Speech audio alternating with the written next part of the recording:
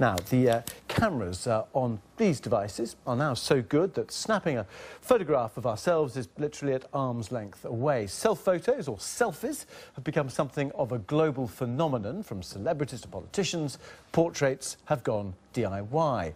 Where do all these images uh, end up? Certainly not in the family photo album, but for all the world to see on social media. Perhaps that is the new family uh, uh, photo album. So is it all narcissism, or is the selfie just savvy uh, self-PR? To talk about this, uh, James Derbyshire is here alongside me, co-founder of uh, Julia Boggio Studios. Uh, wrong shot there, we've got one of his pictures there rather than him, uh, but uh, we can see him now. And live from Cape Town, Aiden Connolly, the managing director of Lowe and Partners Agency, which is behind the Cape Times Selfies uh, campaign. Aiden, if I can start with you, uh, because you really put that paper on the map, didn't you, when you, when you did those selfies? Just, just tell us what struck you about using that as a vehicle uh, and those portraits, for example, of Kate and Wills doing a selfie on the balcony.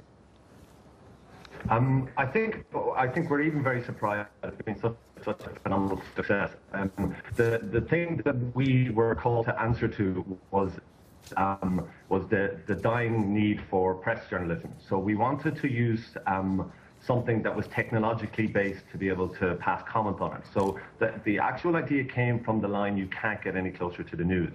So when we started looking at imagery and what we could pair up with that line, we felt wouldn't it be great considering that the digital media is, is what's most threatening to newspaper press, that we actually use something uh, in the digital phenomenon. So um, it was literally just based around that line you can't get any closer to the news.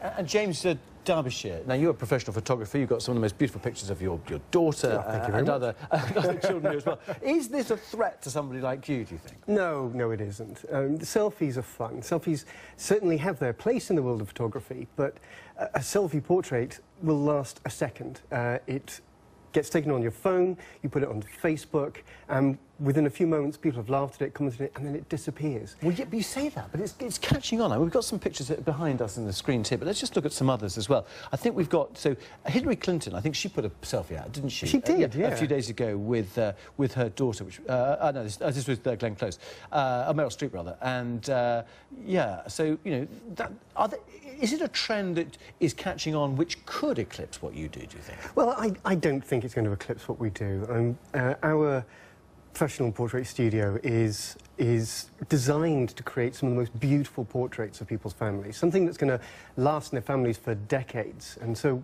when we're capturing an image, we're spending time understanding oh, God, the get rid of that. Get, get, get rid of that one. I was, I, was, I was, forced to do that one, I'm afraid, in the, makeup room. Uh, let's move swiftly on. Let's go back to you, um, Aiden. Do you think there is a there is a risk to traditional photographers, to paparazzi perhaps? Because it is all about control, isn't it? I mean, your campaign was a spoof, but you see, you know, uh, celebrities doing it, and it gives them some sort of control. Shane Warne decides he wants to pose and do a selfie of himself topless. You know, I mean, he's got control. He's in charge.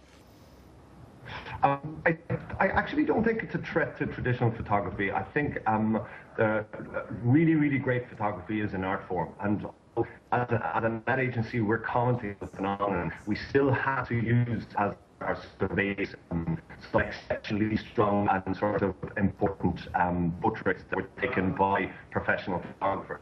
Um, so I think I think that the photography medium is alive and well. People are more interested in trying to control what's out about them, and I think that's why it's become such a, an interesting thing for celebrities to.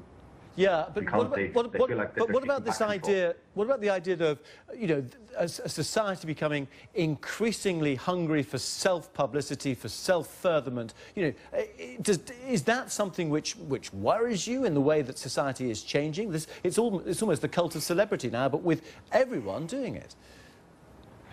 Um, I think I think when advertising is at its best can only really shine a mirror on society. I think all we do is capture a trend or an issue or something else that's out there that's happening without us driving it. So um, I think it's too early to tell with, with selfies, but uh, it certainly has had reached a tipping point when it, in public consciousness.